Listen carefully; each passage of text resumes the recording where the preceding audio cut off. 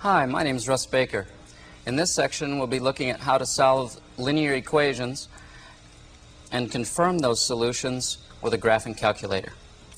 The analytic method of solving linear equations is performed by combining the distributive property, the multiplication, addition, and subtraction properties, and combining like terms to make the original equation look simpler and simpler until a solution is finally at hand. We will consider only linear equations in this section. The basic form of a linear equation is ax plus b equals 0, where a is not equal to 0. Another way of writing this in a more general form is with function notation. f of x equals ax plus b. And again, a is not equal to 0. Finding a 0 of a function is the same as finding the solution of the equation. You just replace the f of x with a 0. Some equations involve fractions for most problems. That's done, solved by removing the denominators by multiplying the common denominator. Here's how it works. We're going to multiply both sides of this equation by the common denominator, which is 12.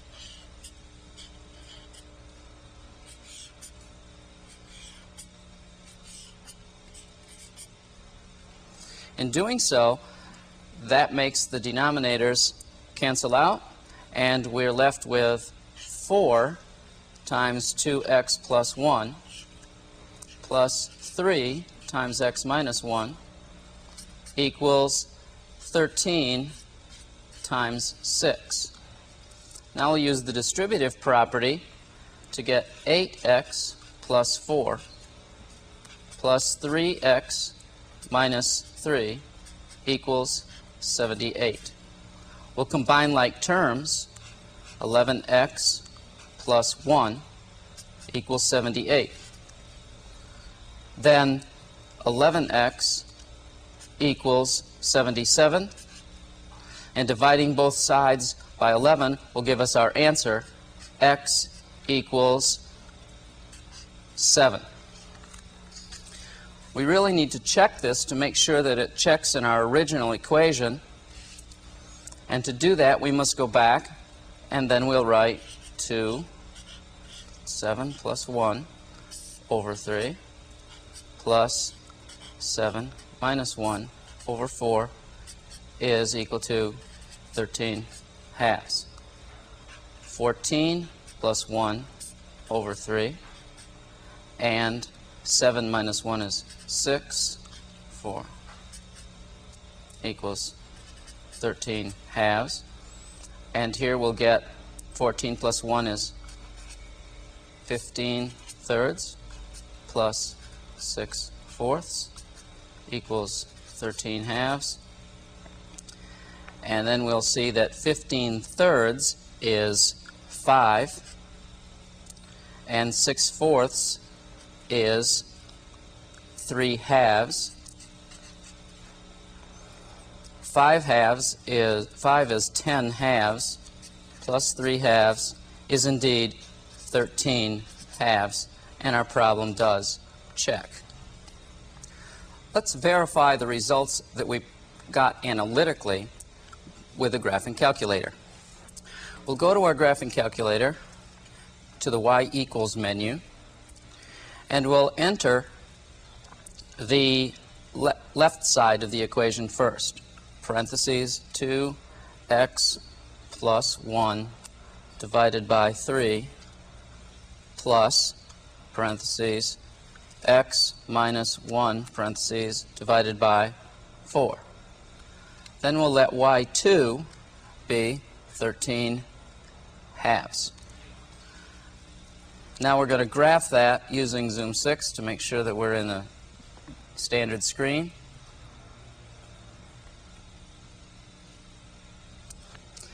The intersection of the two graphs is the solution to the equation. To find that solution, we can do second calc 5 intersect. Our first curve is y1. Our second curve is y2, so we hit enter each time there. Then we use our arrow keys to go as close to that intersection point as we can get. That's our guess, and we hit enter. And the calculator tells us that our answer is y equals 6.5, x equals 7. And we said that 7 was our answer. We can also do this in another manner using the graphing calculator. We can go back to the y equals menu.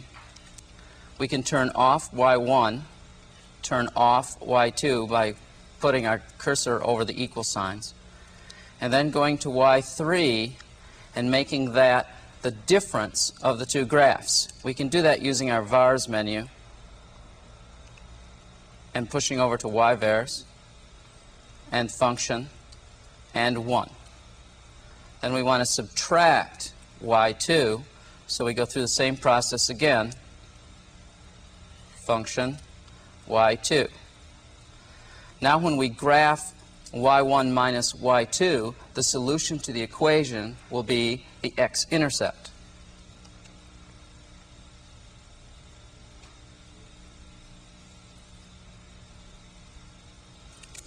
Now to find that point, now to find the coordinates of that point, we'll use second calc 2, 0. Our left bound can be 6, or we can use our calculator arrow keys. Our right bound could be 8, or we could use our arrow keys again. And then we get as close as we can, hit enter, and we see that our solution is 7, 0, checking our equation. Now solve this equation and check it using analytic means. You may want to eliminate the decimals or not as you desire. Turn the tape back on when you've completed the problem.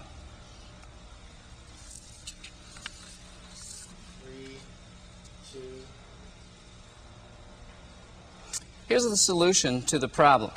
Our first step was to remove the decimals by multiplying through by 100.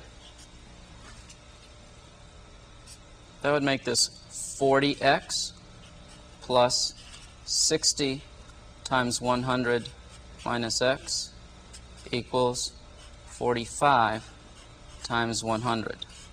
The multiplying by a 100 will not change the 100 minus x inside. Now we'll use the distributive property to remove the parentheses.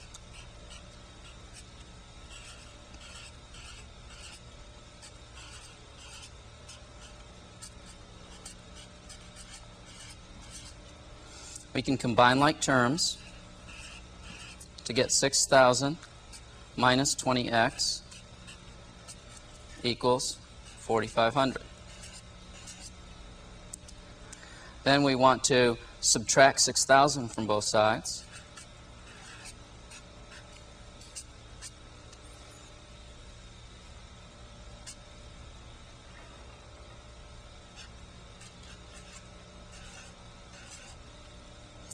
And divide both sides by negative 20. That will give us a positive answer of 75. You should be able to check your work analytically. We're going to go ahead and go to our graphing calculator and check our solution using the intersection of graphs method.